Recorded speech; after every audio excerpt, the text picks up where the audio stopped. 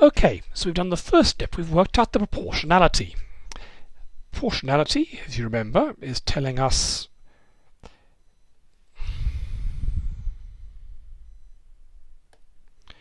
if A is what we want to know, and B is what it depends on, it's telling us how B A depends on B. So it's telling us this power here. In the case of trying to work out the force between the two charges, that force is proportional to r to the power minus 2. For the stars, what we want to work out might be the brightness, and what we know it depends on might be the mass. Okay, so what do we do now?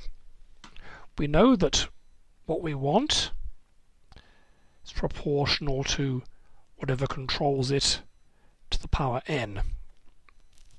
What we also need to know is examples of A and B for one particular case. So that might be a star we know, or the force when they're separated by 3 meters, something we know. So we'll call that A naught and B naught. So we know the proportionality and we have one example, which is what we're scaling from. Now, how do we work it out? Well, there's an equation we can use.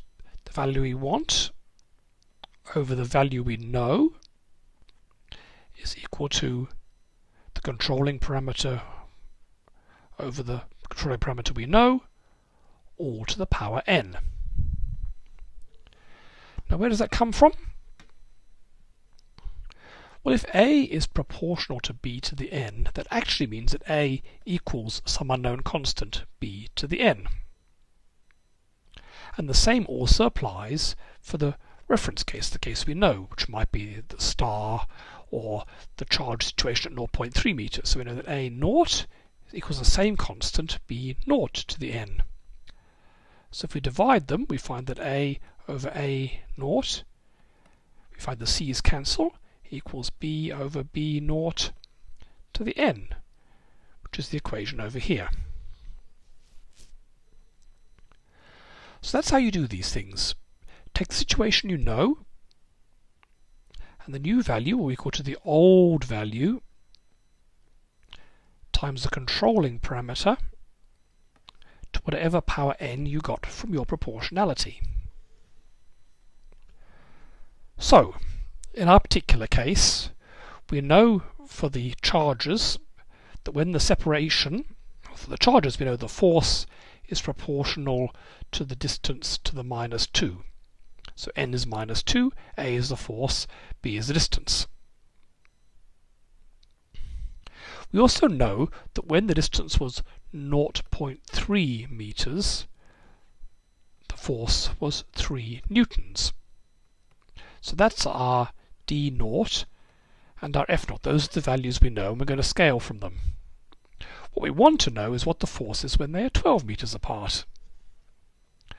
So using this equation, the force we want will be equal to the force we know, 3 newtons, times the new distance, 12 meters over 0.3 to the power of minus 2, which is equal to 0.0019 newtons.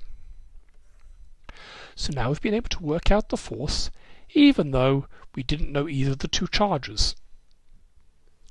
So for another example, it turns out that for stars, the luminosity, which is how bright they are, is proportional to the mass to the fourth power. So let's what, what's the what's the luminosity of a star that's twice the mass of the sun? So we know for the sun, luminosity of the sun equals mass of the sun to the fourth power. So if something's luminosity of a new star, which has twice the mass of the Sun, is going to be equal to the luminosity of the Sun, this is actually the symbol for that, times the ratio of the masses, the mass of the new one over the mass of the Sun to the fourth power. Now we know that's 2, so it's 2 to the fourth equals L of the Sun times 2 to the fourth. Easy.